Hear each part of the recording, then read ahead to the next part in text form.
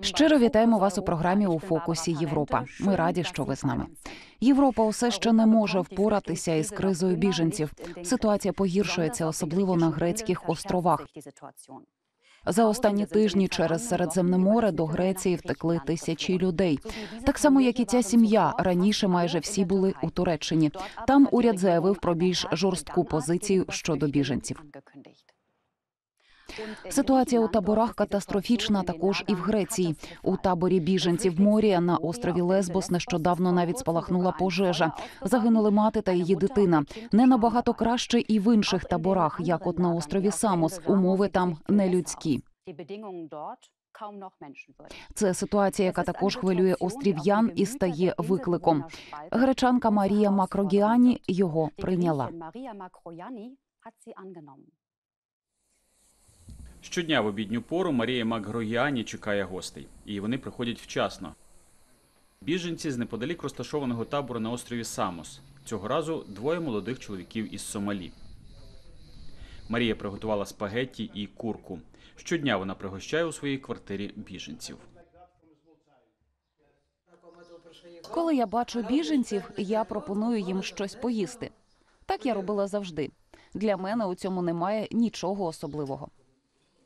Біженці на Самосі називають її мама Марія. У пенсіонерки вони отримують не лише теплу їжу, вона дає їм із собою також консерви та одяг.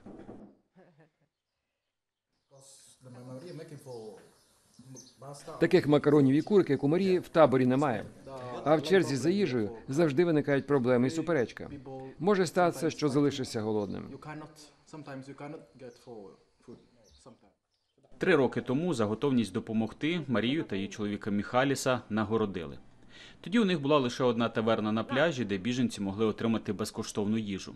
Місце, де привітно зустрічали людей з усього світу, які втратили свою батьківщину. Але потім договір оренди закладу Марії був розірваний, що стало для неї шоком. Вона пережила один за одним два апоплексичних удари.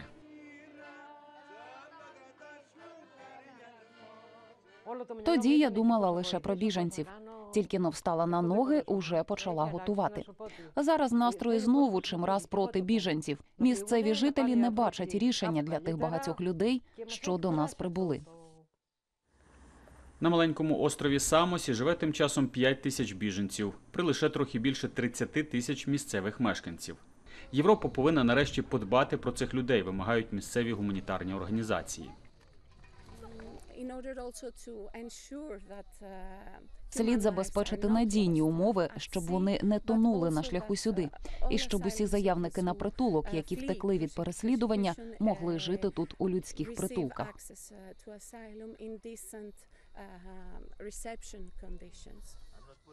Утім, про це на Самосі не може бути й мови. Відвідати табір нам забороняють, але ми знову зустрічаємо Мохамеда з кухні Марії.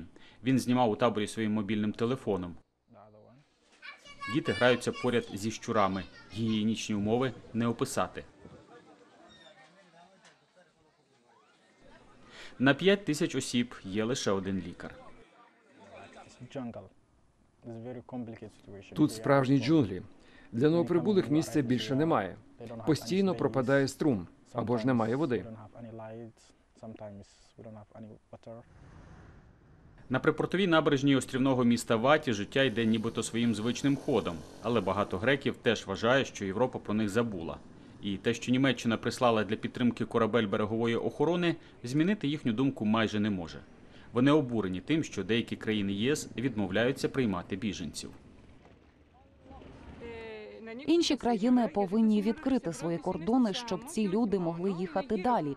Або ж ті контрабандисти, які їх сюди доправили, повинні їх знову звідси забрати. Люди тут застрягли. Це не діло. Ми хочемо, щоб наше життя було таким, як раніше. Міхайліс бере нас із собою у свою колишню таверну. Марія більше не хоче туди, звідки її прогнали три роки тому через її самовіддану допомогу біженцям. Її чоловік ще добре пам'ятає, як усе почалося.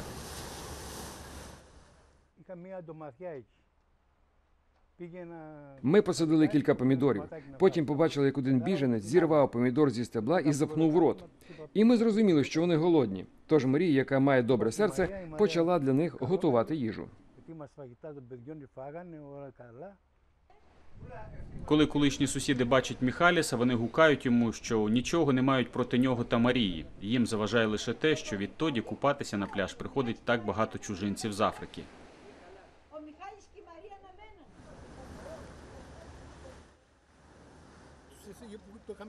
Вони кажуть, що ми з біженцями забруднили пляж. При цьому ми дбали, щоб пляж залишався завжди чистим. Зараз він набагато брудніший.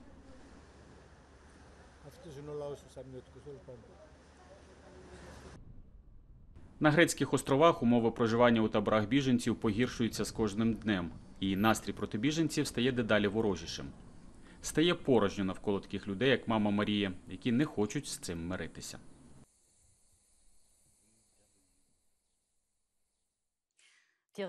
Зараз уряд в Афінах хоче пристосувати табір до зими і перевести більше людей із островів на сушу.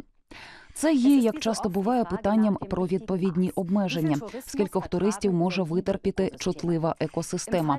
У випадку із портовим містом Котор у Чорногорії проблему видно уже на карті. Дістатися міста водними шляхома можна лише через надзвичайно вузьку протоку, через яку протискуються незліченні круїзні кораблі. До тих, хто програє, належить не лише природа, а й рибалки, такі як Драган Сердоц, який живе з природою і з природи.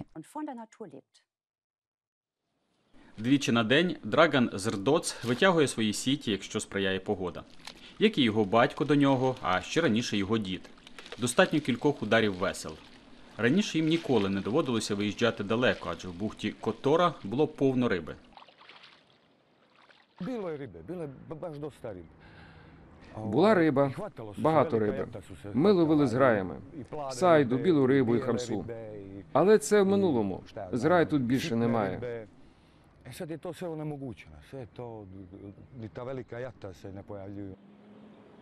Винуваті вважає Драган вони круїзні лайнери, які причалюють перед Котором, і їх стає чимраз більше. Майже щодня один або кілька цих гігантів швартуються біля маленького причалу міста і випльовують тисячі туристів. Кількість пасажирів круїзних лайнерів продовжує безперешкодно зростати. Зрештою, кожен турист витрачає тут в середньому 40 євро.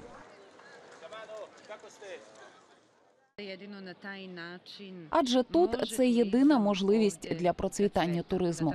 Багато людей з цього живе. У Которі немає пляжів. У ньому немає навіть готелів. На жаль. Одноденні туристи забезпечують бізнес у Которі, але він не стійкий. Це розуміють також і в місцевому туристичному бюро. Утім, відмовлятися від бізнесу не хочуть. Щодо Котору, справжню різницю склало б будівництво великих готелів. Із однаковою кількістю гостей ми б забезпечили вищий дохід і одночасно спричиняли б менше збитків. Адже ми говоримо не лише про круїзні кораблі, а й про інших одноденних туристів. Але концепції відсутні, і ЮНЕСКО, до чиєї спадщини належить Котор, уже била на сполох, тому що біля бухти велося неконтрольоване будівництво. Та Драган скаржиться, що тепер у небезпеці знаходиться вся екосистема бухти. Це пустеля. Тут втрачається вся біорізноманітність.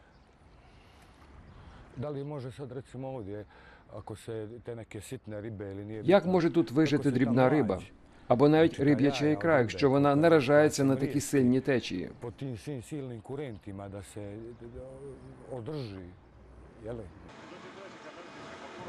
Завжди, коли гіганти причалюють чи відчалюють, вони використовують кермове управління на носі і на кормі. Вони діють як величезні міксери, котрі сильно перемішують воду в бухті. При цьому Коста Вікторія належить ще до невеликих. Справді великі, такі як Mein Schiff 6, тонажністю 100 тисяч тонн, стають на якір посеред затоки. Вони годинами перевозять своїх гостей на сушу посильними човнами. Для чутливої екосистеми затоки, говорить морський біолог Весна Мачич, це катастрофа. Поки що комплексне поєднання солоної та прісної води ще якось тримається. Морське середовище може триматися довго, воно може відновлюватися. Але є межі. Коли ця стабільна система руйнується, відновити її надзвичайно важко. Процес вимагає тривалого часу і великих коштів. Коротко кажучи, я боюся того, що буде.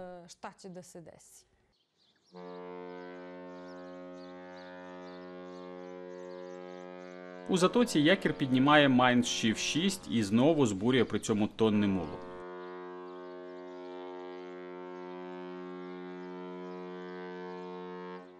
Шлях із затоки веде через вузький канал. Його ширини саме вистачає для проходу велетнів.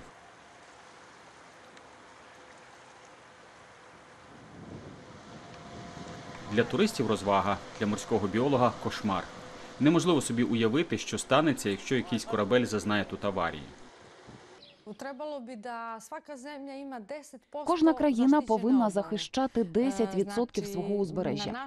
Тут це означає майже 30 30 кілометрів. Чорногорія уже 10 Е, років поспіль працює над деякими проектами, які повинні стати морськими заповідниками. Але заповідників у нас усе ще немає.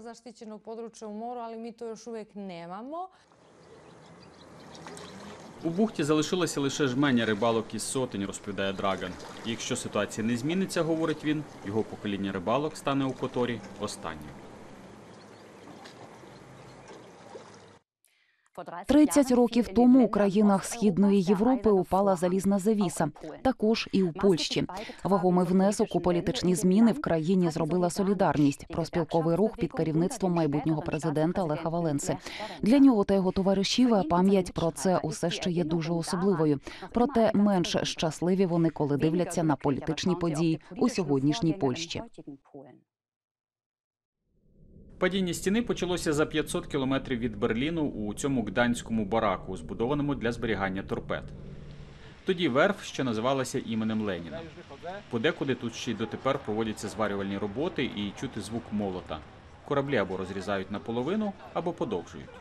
Пахне морським повітрям, іржею та залізом. Тут європейський центр солідарності, серце ліберальної Польщі. Там, на поверсі керівництва, ми зустрічаємося з героєм тієї години Лехом Валенсою, як завжди войовничим. Уже навіть футболка колишнього робітника Верфі є викликом цього разу нинішній владі у Польщі. На ній написано Конституція.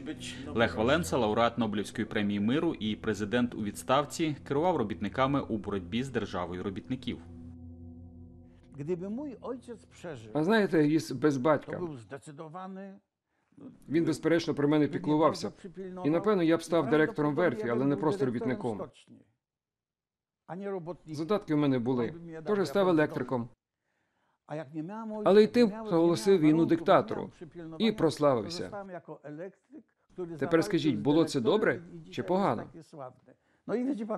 Jak teraz określić, co jest dobre, co jest złe i kiedy jest dobre, kiedy złe? Влітку 1980 року Валенса приєднався до учасників страйку робітників. Норми були занадто високими, крамниці занадто порожніми, робота занадто небезпечною. Однак мова йшла також і про закон та свободу, точно як і сьогодні. Через 18 днів страйку тут, у цьому залі, комуністичний уряд став на коліна, і Валенса підписав угоду дуже товстим олівцем. Всередині східного блоку народилася перша вільна профспілка Солідарність. Чисто технічно, падіння стіни було викликано нами, солідарністю.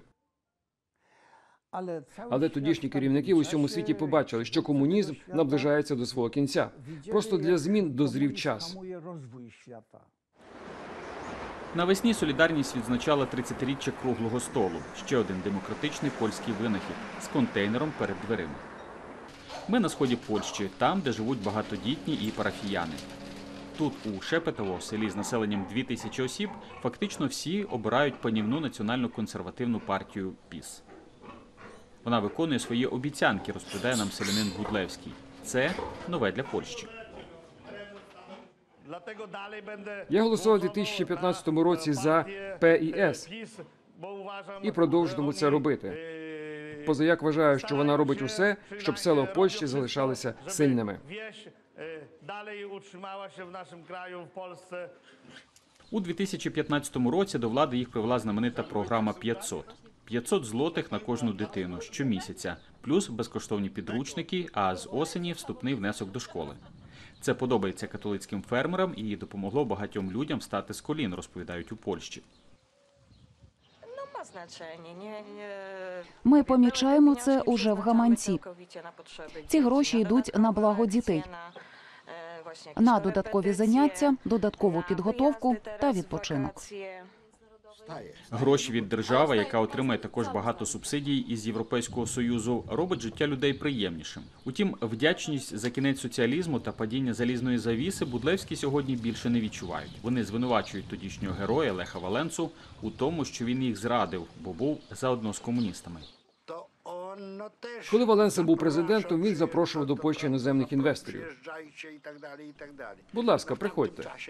Можливо, тоді це було необхідністю, але було забагато дозволено. Було продано занадто багато Польщі. На щастя, це зупинили завдяки ПІС. Столиця Польщі, Варшава Сіті, є сьогодні свого роду виставкою досягнень. Місто світових концернів, що зі своїми хмарочосами доладні у всьому світі, і той, хто був тут востаннє при падінні стіни, без сумніву розгубиться. Пане президенте, у столиці видно німецьких автовиробників, китайські банки, американських бізнес-консультантів. Можливо, Польща себе продала?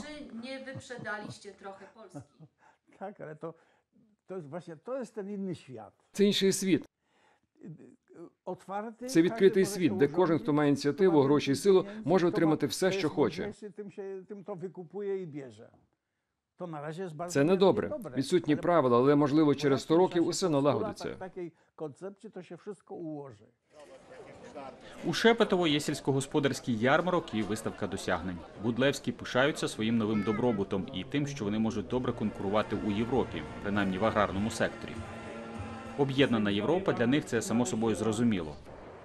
Але 30 років тому тут, у портовому місті Гданську, була заснована профспілка, яка викликала ефект доміно, який камінь за каменем закінчився падінням стіни між сходом і заходом. До цієї нової Європи відноситься також і те, що в ЄС можуть вільно пересуватися також і робітники, щоб працювати в іншій країні без жодних проблем. Утім, проблема з'являється, коли знекровлюються цілі регіони, як приміром у Румунії. Звідти виїжджає особливо багато людей, також і в напрямку Італії. Але там багато хто помічає, що в них немає іншої альтернативи, окрім нелегальної важкої роботи. Петрика Андронію переживає це щодня. Вранці о пів на шосту у римському спальному районі Буфалота, так звана панель для робітників. Тут чекають поденні робітники у пошуках господаря. Більшість із них походить із Румунії. Потім під'їжджає цей автомобіль для перевезень. Невдовзі в нього сідає один із чоловіків. Дуже приховано, адже у будь-яку мить тут може з'явитися поліція. Інші залишаються і чекають. Часто марно. Будівельна галузь Італії загрузла в кризі. Ми намагаємося зав'язати з чоловіками розмову. Привіт, як справи? Скільки можна тут заробити? 60-70 євро на день. Вас забирають італійці? Так, приїжджають італійці, але є також і румуни. Для Петрики Андроніу цей ранок знову був поганим. Для нього роботи не знайшлося. Так румунам не щастить уже понад тиждень. Я працюю нелегально. Зрозуміло, що це підходить нашим роботодавцям. В іншому разі вони повинні були платити податки і страховки. Багато років поспіль 64-річний зварювальник щоранку пробує щастя на панелі робітників з усе меншим успіхом. Нещодавно, розповідає він, його залишила дружина з двома дітьми. З того часу він живе на краю пляжу у цій тимчасовій халупі. Діти бабусі та дідуся. Вони чекають на батька, сподіваючись, що я повернуся. Але я не повернуся. Наступного дня він повинен встати о пів на п'яту. Лише так він має шанс знайти роботу. О Боже, що за прокляте життя.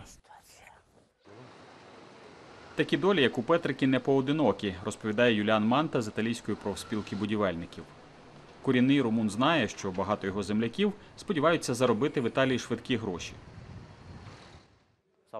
Приїхало багато, тому що їм пообіцяли казкову країну, але тут вони знайшли щось зовсім інше.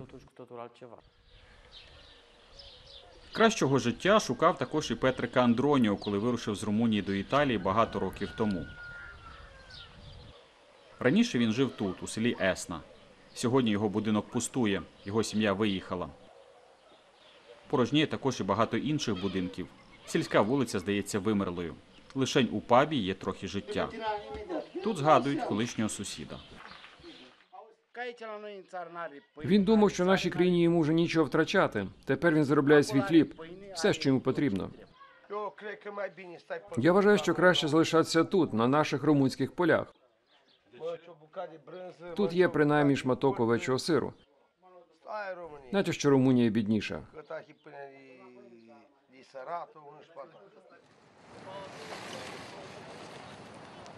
Знову у Римі. Як і кожного ранку, Петрика Андроніо знову рано на ногах. Гнаний надією заробити кілька євро. Звичайно, Рим красиве місто, але не для мене. Ми не туристи, ми раби. Цього ранку на панелі робітників у Буфалота ще менше руху, ніж зазвичай. Почалися літні канікули. Погана перспектива для Петрики Андроніу, зварювальника з румунської провінції. У цьому щось є. Просто зануритися у давно минулі часи. Саме це роблять зараз норвежці. Там процвітає культ навколо вікінгів. Цей особливий вид генеалогії норвежці сприймають дуже серйозно. Вже існують справжні школи вікінгів. Опановувати знання із минулого для майбутнього це мета сучасних чоловіків. За розкладом сьогодні розбивання намету. Звісно, що як і тисяча років тому у часи вікінгів. Адже Вебьорн навчається в випускному класі вікінгів. Хоча бруски походять із будівельного магазину, але у всьому іншому притулок цілком відповідає археологічним знахідкам про його предків.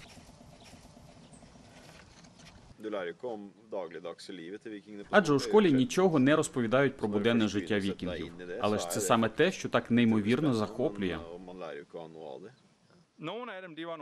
Деякі з цих вікінгів були справді досить жорстокими, і краще було з ними не сперечатися. Але більшість вікінгів ніколи не виїжджали і лише доглядали дім та двір.